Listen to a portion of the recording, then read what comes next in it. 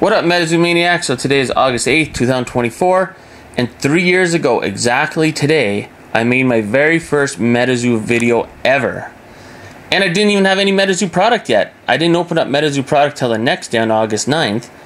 But this is the video I made, and I don't know, it's a little cringy, maybe it's funny, I don't know.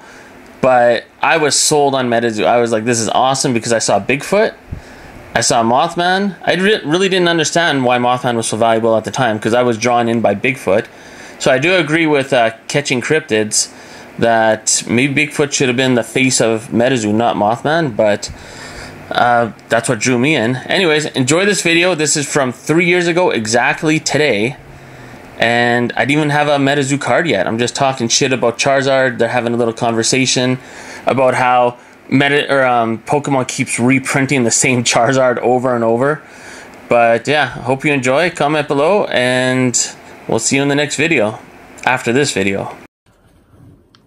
Hey Zion, what's going on? I heard you had big news. Well, actually, I do, Mewtwo. There seems to be a new Charizard on the block. What do you mean, new Charizard? You mean they're going to use my artwork again and make another VMAX in a different color? Uh, not really, Charizard. What, you mean like me? You mean they're gonna make another one look like me?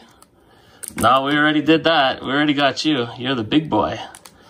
But um, let's let's talk to the OG. So there's a set called MetaZoo coming out. Well, it is out for about a week and a half. Mothman is real, Bigfoot's real, and a whole bunch of other cryptids. Look into it, because even Charizard knows that cryptids have more nostalgia than Pokemon. But Charizard is still awesome. And speaking of a urban legend. Not even this guy could believe it's a PSA 10. Anyways, comment below. Let me know what you think of MetaZoo.